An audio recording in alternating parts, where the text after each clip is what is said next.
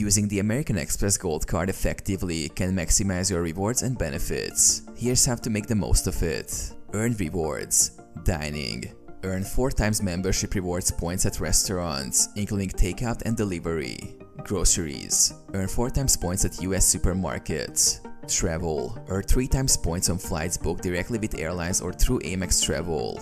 Other purchases. Earn 1 times point on all other eligible purchases. Use Amex offers. Regularly check Amex offers in your account for special deals that provide additional points or discounts at various merchants. Redeem points. Travel. Use points to book flights, hotels, and car rentals through Amex Travel.